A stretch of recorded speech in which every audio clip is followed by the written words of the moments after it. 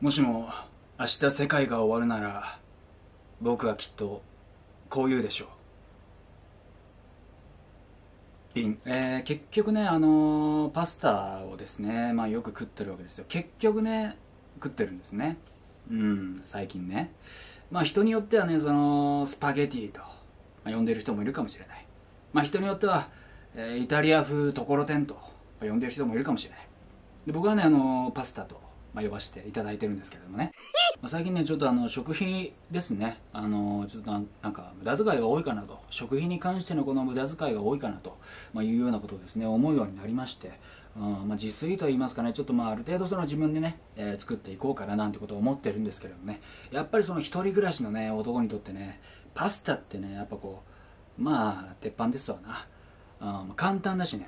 茹でればいいだけだから。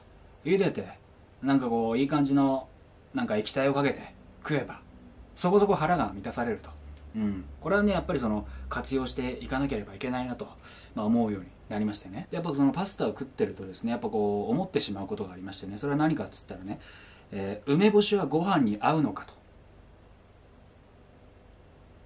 うん、やっぱりそういうことを考えてしまいますよね、うん。まあ、梅干しってあれですよね、まあ、ご飯に合うとされてるじゃないですか、で僕はね、まあ、確かにそうなんですよ。あの合うと基本的に合うと思ってるんですね。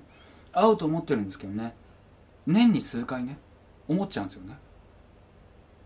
合うかと、うん、年に数回ですよ。基本的にはねもう365日。基本的にはね梅干しはご飯に合うと思ってるんですよ。でも年に数回ね合うかと。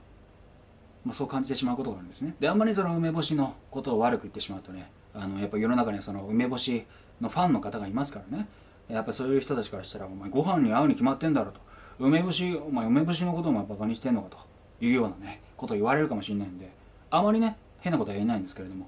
で僕はあれですよ。もう誤解ないように申し上げると梅干しはご飯に合うと基本的には思ってますよ、うん、思ってるけど年に数回ね合うかと思ってしまうという、そういうことなんですね。でなんかその梅干しってねなんかあのご飯とこのベストカップルみたいなねなんかそういうふうに思われてるじゃないですか。で梅干しからしてもなんかもうこいつ俺の女ですみたいな。ご飯は俺の女ですみたいな感じを出してますけど年に数回ね。お前ら本当に付き合ってんのかと。なあ梅干しと。それはお前が付き合ってると。付き合ってると思ってるだけでご飯ちゃんはさお前のこと別に何とも思ってないんじゃないかと。むしろ鬱陶しいって思ってんじゃないかと。年に数回にそういうことを感じてしまうんですよ、うん、いやでもあれですよ、まあ、そんなことそんなこと言ってもね一見その仲悪そうななんかね人に限って実は意外と仲いいみたいなね、うん、常にそのベタベタしてない。常にラブラブしてない。そういうカップルそういう夫婦の方が意外と仲がいいみたいな。なんていうんですかね。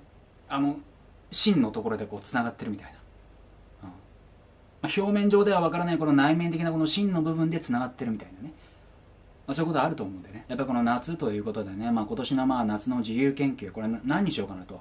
何をテーマにしようかなと思ってたんですけどね。やっぱりこのご飯と梅干しのこの関係性といいますかね。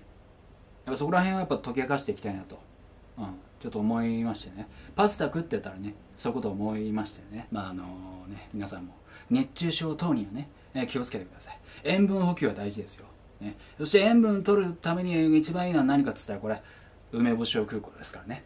みんなで梅干し買って盛り上げていきましょう。梅干し業界を盛り上げていきましょう。そんな話でございます。加藤してくださいました。